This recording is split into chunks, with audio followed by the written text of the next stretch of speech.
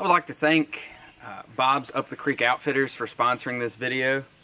Um, if you all have not checked them out yet, they have a store in Amherst and one in Moneta, and they're actually a dealer for uh, Crescent kayaks, um, Feel Free, Old Town, Vibe, um, and I would I would suggest checking them out if you're in the you're in the the market for another kayak. Um, they also have three waters. Um, it's popular brand now, but we're actually going to be installing the Bixpy Universal Canoe and Kayak um, adapter on this particular kayak. Um, you know, there, there's other mounts out there. We could have used a uh, the smaller gudgeon mount with the universal rudder adapter that Bixpy has, but you know the the universal rudder adapter pretty much fits on all kinds of kayaks. So I wanted to switch it up and try something different. Um, and, I think that the universal um, kayak and canoe mount is probably going to be a good option for this boat. Uh, so stay tuned and we'll get to the install. And like I said before, um, this is the Crescent Ultra Lite that uh, Bob's Up the Creek Outfitters um, graciously uh, you know, donated for this video. Um, course, one thing I forgot to mention is they're also a Bonafide dealer. And that's actually where I got my Bonafide SS107. And I'll be doing another video um, shortly with the Innovative Sportsman's no drill mount and the um, easy mount from Bixpy. So that'll, that'll be another video coming down the line. Alright, now as you can see here, um, I'm not going to go directly um, behind the kayak itself. I could have drilled directly into here using that gudgeon mount, but I'm actually going to go off to the side so that I can use one of the pre-existing rails that is on the Ultra Lite. That way I can easily mount the ram ball and then I won't really have to drill you know too many other holes uh, within this kayak. So I'm going to kind of position this upright uh, you know roughly where I want it then I'm going to install the ram ball mount right here. So I'll go ahead and return once I get that ball mounted. Alright, I actually had to drill out some of the holes on this uh, ram mount here. Um, I'm actually using the uh, just some leftover T-bolts that I had and I found some lock washers that I just had lying around and you know just some nuts that fit it and of course I don't know the exact size uh, but this is a 10 millimeter socket here and uh, it fits right over top of that. So I'm just going to tighten it down, uh, tighten both of them down.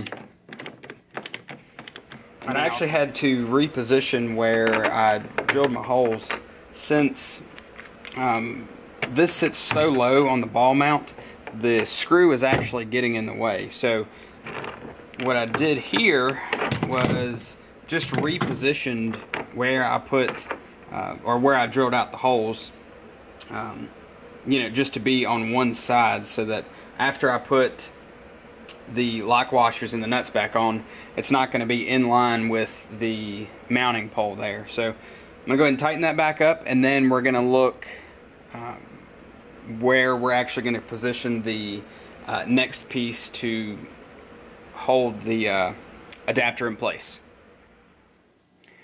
You know, I thought about this for a little while. Um, I could actually use this piece that came with the unit.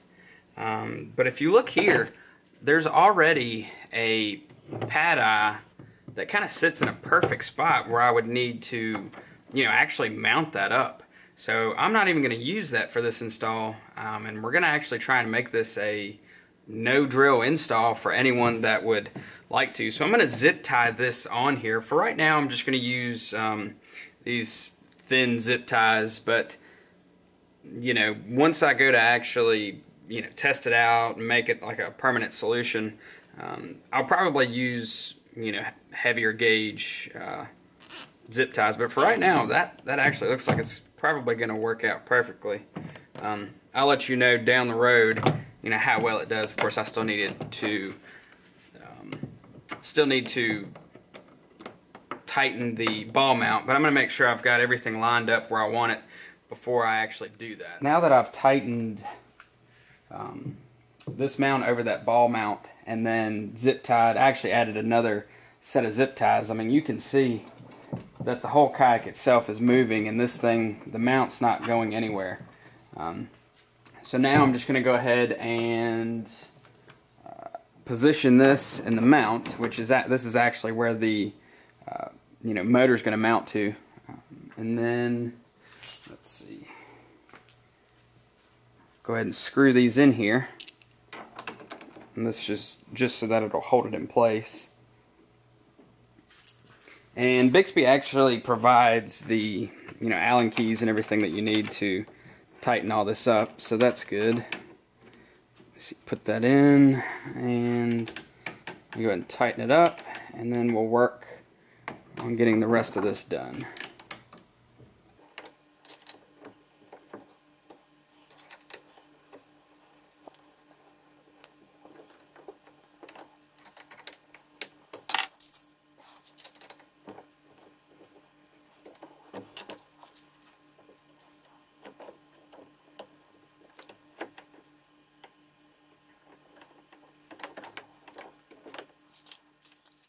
Alright, you can see already kind of where the motor is going to be positioned right here.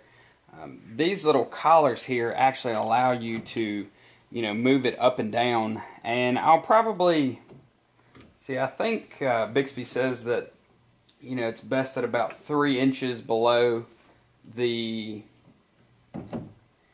you know, water line. So that's probably where I'm going to try it. Um, I'll have to put this in the water again and see, but I may move these collars up some so that it, the, the motor sits, I don't know, maybe about an inch or two up uh, further than what it is. Um, I'm actually going to use the hand controls with this, so I'll demonstrate um, that. But I mean, as far as this goes, I mean, we pretty much have everything installed that we really need installed for this to work. Um, of course, you know, once we put it on the water, we'll have the power pack in the tank well here. I need to put the um, pull cable up here to position the, uh, you know, to pull it in and out of the water, depending on, you know, how shallow I'm getting. And you can probably see right here, I'll zoom in some so you can kind of see that, but um, they allow for many different positions to actually mount this. If you can see here, um, the motor sits kind of, you know, in some. So we can position these right here and kind of, you know, figure out a, a sweet spot for this. And I'm going to do that, um, you know, after we get on the water and try and figure it out and, you know, see how it works and, you know, see if it's, it's at a good position for us. But uh, for now, I'm going to go ahead and leave it like this. Like I said, I'll probably position this up uh, about an inch or two, um, you know, just to just to try it out and see. And then, of course, once it's out of the water, um, I don't want it to still drag any. So if I push it up some more, then it'll it'll help with that. Um, but let's move on to the rudder cable um, install. We're going to use the hand controls that Bixpy um, also sells on their website, and um, we'll go from there.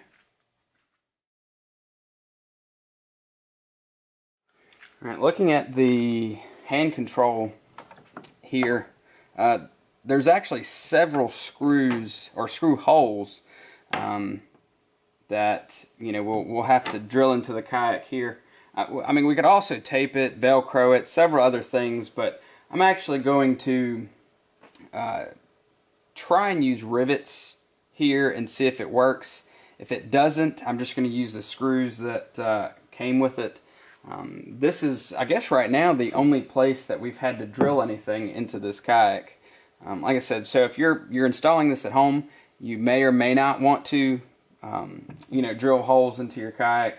Um, but in this case, um, you know, even if I'm not using the hand controls or the motor itself, I mean, this easily just pops on and off.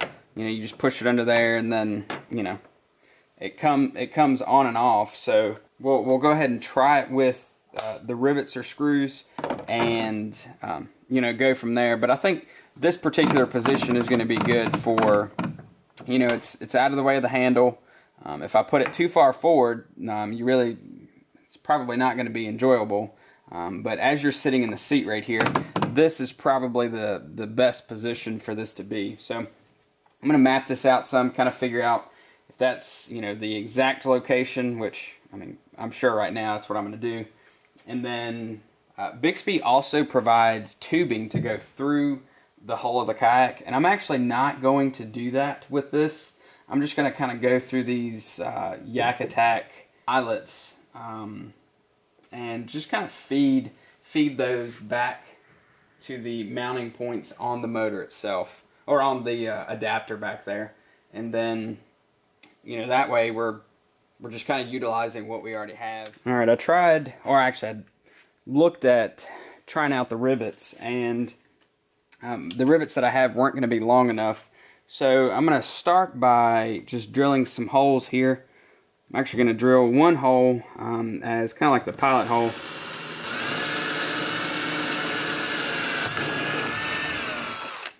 and then I'm going to go off of that hole. I'm going to go ahead and screw one screw in there and then you know after that one is secure I'm going to go ahead and you know start drilling the rest of them out.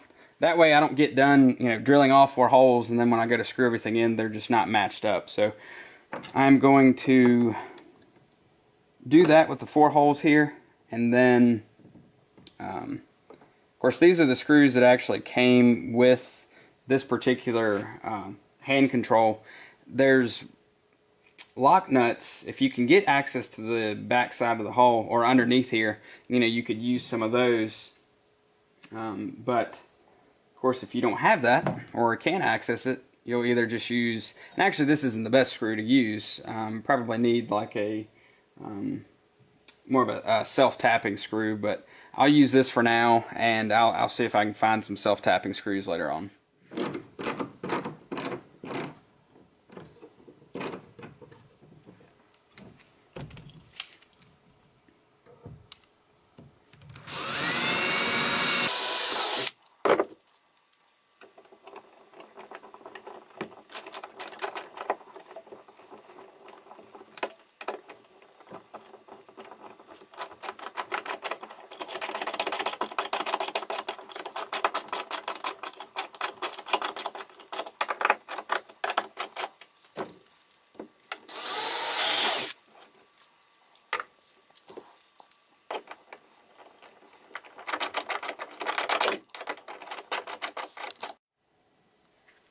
Alright, now that we got the base plate mounted, um, I actually ran the rudder cables back through this eyelet right here and tied them back onto the um, adapter back there. And actually, this is the turning radius on this thing is actually really good. It's really responsive. Um, and I like the fact that the handle here, it actually you can hear it click. Um, so of course, if you're, you know, you're wanting to go straight, you can adjust it and keep it there, and you don't have to worry about, you know, the rudder turning on you or anything like that. And of course, that's, I mean, that's that's pretty much it. That's the install. Um, I will clean up a lot of this cable. Um, you know, just go ahead and cut this off and, and tie it off a little better. Just, you know, clip these and of course I'm going to move the uh, these collars down a little bit to move the motor up some. But other than that this thing is ready to go. And I'm actually really excited about this um, because it is so universal. And of course the only thing we had to drill was the uh, mount for this handle here. And really if you didn't want to do that I'm sure there's other ways. Um, I think some of that industrial strength uh, Velcro or outdoor weather, you know, weather rated Velcro would work perfectly fine. But I can't wait to get this thing on the water and actually see how it performs, especially since this is so responsive. Um, and this is such a light boat. I mean, it's, like I said, it's fast in the water, just paddling. So I'm sure that it's going to be, it's going to, it's going to do really well, um, you know, with the motor on there. So um, the next time you see this particular kayak, it'll be on the water. and we'll see how fast we can get this thing up to. All right, thanks for watching, and I hope you all go you know, go check out Bob's Up the Creek Outfitters. Um, I'll leave a link in the description there. And if you have any questions about this kayak um, or anything Bixpy related, uh, just leave a comment. I'll also have other links to these adapters here where you can buy the motor um, and, and everything related to that. So, like I said, if you all have any questions, just leave a comment and I'll get back to them. All right, thank you all for watching. Appreciate it.